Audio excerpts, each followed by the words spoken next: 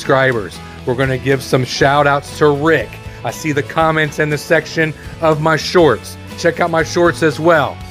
He believes he was talking about the Cincinnati Bengals, and I do Cincinnati Bengals, Dallas Cowboys every now and then, and I'm focusing on the Southwest Ohio region.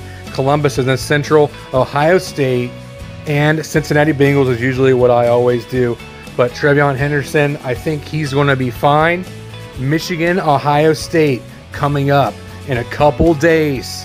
It's going to be big. It's going to be huge. Hopefully, I want to have some a barbecue and a cookout with my brother. I'm not sure what we're going to do Saturday at, uh, at noon kickoff uh, with the game. So, love you guys. God bless. Tip the waitress.